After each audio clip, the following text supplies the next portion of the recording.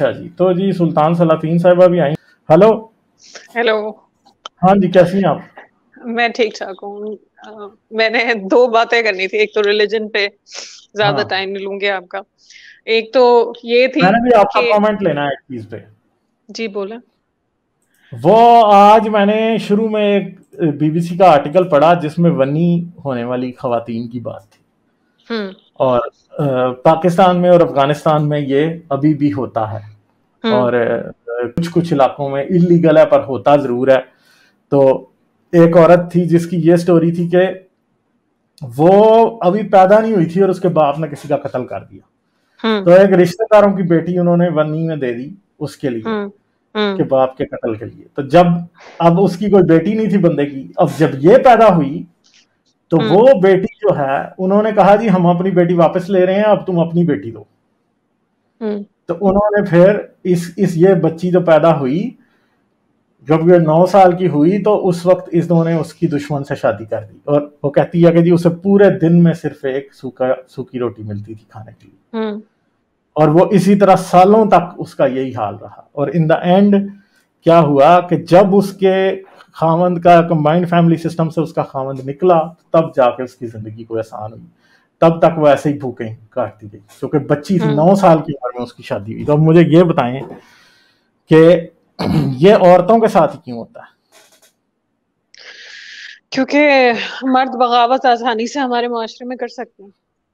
हम्म। मर्द हमारे यहाँ इस तरह से लड़कियों की तरबियत होती है कि वो इनकार नहीं कर सकती और उनके काम फर्मा बरदारी है। जबकि हम्म। लड़के अगर बगावत करते हैं तो वो इतना बुरा नहीं मायूब नहीं समझा जाता।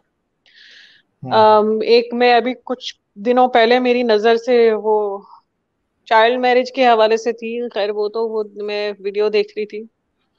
वो दस साल की बच्ची थी और उसको ज़बरदस्ती एक बड़ी उम्र के आदमी के साथ शादी कर रहे थे और उसकी हम्म माँ रो रही थी पीट रही थी। वो बच्ची भाग भाग के अपनी माँ के साथ जाके लिपटती थी। और वो उसे आदमी वो बन्नी का केस भी बेसिकली हो सकता था। हम्म। और ऐसा द- वो दिल खराश मंजर कोई वीडियो बना रहा था म- और वो आदमी मतलब कोई उसे रोक नहीं रहा था सारे लोग इर्द गिर्द खड़े हुए थे। और वो आदमी जाता था और वो उसको पकड़ के घसीट के लाता था वो फिर अपने आप को छुड़ाने की कोशिश करती थी। उसकी माँ उससे लिपट रही थी उसे छुड़ाने की कोशिश कर रही थी और आखिरकार वो ले गया उसे। मगर अभी 2020 में भी एक वाकया हुआ था वो तेरह साल की बच्ची का जिसे इकतालीस साल के हम्म। आदमी से कर दिया गया था तो पाकिस्तान में तो होता है। और हम्म। बहुत अभी कुछ केसेस तो रिपोर्ट होते हैं बट ट्राइबल एरियाज़ में और वहाँ पे आप ये एक्सपेक्ट कर सकते हैं कि बहुत सारे केस रिपोर्ट नहीं होते होंगे। जहाँ पे इन्फ्लुएंशियल लोग आ जाते हैं वहाँ पे चीज़ें रिपोर्ट नहीं होती। हाँ तो ये ये तो तो है। पाकिस्तान में बिल्कुल इस तरह के केसेस हैं। बहुत सारे केसेस हैं और मसला ये है कि वहाँ पे वो जाके रिपोर्ट करेंगे किसे? यही तो मसला है। अब अगर पाकिस्तान के ट्राइबल बेल्ट में है तो वहाँ पे तो पुलिस भी प्रॉपर थाने उस तरह से आई नहीं है। जहाँ रिपोर्ट वुमन वुमन थाने की तो बात ही ना करें। आम थाना ही नहीं है उधर तो कैसे होगा? गालिब आपको ये नहीं भूलना चाहिए कि हमारे जो इस तरह के इलाके हैं रिमोट इलाके हैं वहाँ हम्म पे थानेदार और वो सारा थाना जब तक वो उसको जाके सलामी नहीं जाके पेश करता वो उसकी मर्ज़ी के मुताबिक होते हैं उसका इन्फ्लुएंशियल के वो जाके हाजिरी जाके देते हैं उसके आशीर्वाद लेते हैं क्योंकि उससे उसके हम्म। खाने आ रहे होते हैं उसकी उसकी मराद पूरी होती है। You can't expect them to go against them नहीं तो वो वहाँ पे टिकेंगे नहीं। यही बात है। तो थाना कल्चर तो बहुत खराब है पाकिस्तान में।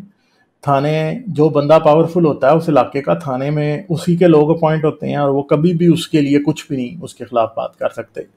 और फिर रिश्वतस्तानी और सिफारिश और पर्सनल कनेक्शंस और आपको पता है कि सारा कुछ पॉलिटिक्स थाने के साथ सबसे ज़्यादा पॉलिटिक्स तो थाने में मिल रही होती है।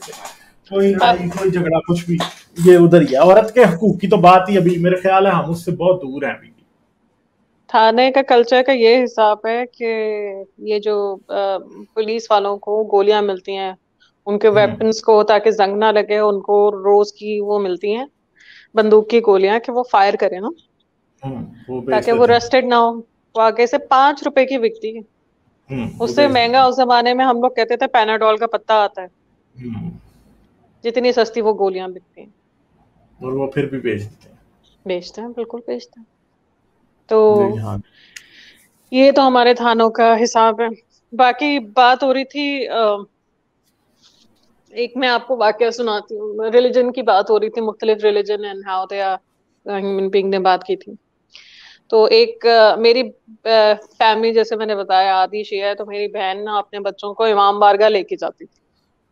हम्म। मैं भी कई दफ़ा गई हूँ उसके साथ। मुझे बड़ा फैसिनेट करता है वो पूरा एक जो मुहर्रम से लेके वो वो सवा महीना पूरा जो होता है वहाँ पे चालीसवे तक।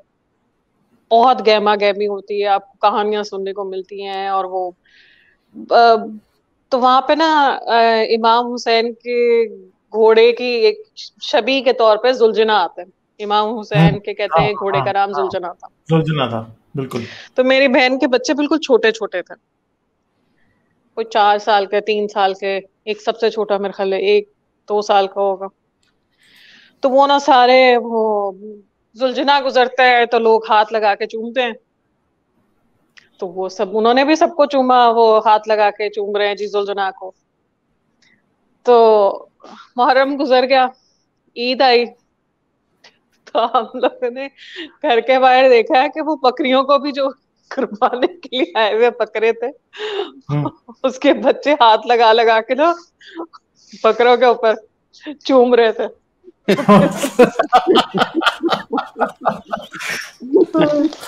ये तो सही है। अब बच्चों को तो नहीं बताना है उन्होंने कहा कि जानवर जो भी है लोगों के इर्द गिर्द पाए जाते हैं। हाँ। तो आ, ये बिलीफ है बेसिकली अगर आप अनचेक रखें अगर आप देखें बहुत सारे लोग कहते हैं कि हमारे वो इनके एतराज़ बकरों पे नहीं होना था ना वो कुत्ते को अगर चूम लेते ना तो बड़ा होना था फिर एतराज़ ये आ गया वो बस हाँ। तो तो अगर आप देखें हर कोई आके कहता है कि भाई ये रिलीजन बेहतर है ये रिलीजन में ये है उसमें ये इतना नॉलेज है इतना तो सारे साइंटिस्ट मस्जिदों हम्म। में मंदिरों में चर्चों में क्यों नहीं होते हम्म। मतलब उनको लैब्स की क्या ज़रूरत है उनको साइंटिफिक रिसर्च की क्या ज़रूरत है अगर रिलीजियस स्क्रिप्ट में दुनिया की इतना नॉलेज है तो उनको तो किसी लैब की किसी साइंटिफिक रिसर्च की उनको तो रिलीजन को पढ़ के सारी चीज़ों को सॉल्व कर लेना चाहिए हाँ. ये आपको फिर भी बाकी चीज़ों को प्रूव करने के लिए दवाइयाँ ईजाद करने के लिए आपको इलाज मुआवजे के लिए आपको स्पेस में जाने के लिए आपको मैथ्स के प्रॉब्लम सॉल्व करने के लिए आपको इल्म की ज़रूरत पड़ती है साइंटिफिक नॉलेज की ज़रूरत पड़ती है वो आपको किसी किताब से किसी रिलीजन की किताब से नहीं मिलता हम्म। और ये खाम खा के अपने आप को ढकोसले देना कि रिलीजन, हमारा रिलीजन बेहतर है, क्योंकि उसमें इस तरह की अच्छी बातें की गई हैं। वो अच्छी बातें आपको और भी बहुत सारी जगहों से मिल जाएँगी। ये ढकोसले अपने आप को नहीं देने चाहिए। और साइंटिफिक नॉलेज अल्टीमेट आप अगर बीमार होंगे तो आप किसी मंदिर, किसी मस्जिद, किसी गिरजा, कहीं नहीं जाएँगे, आप अस्पताल जाएँगे। हम्म।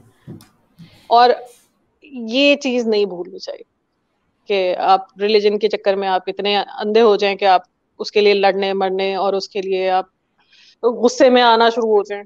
So that's all I wanted to say ठीक है।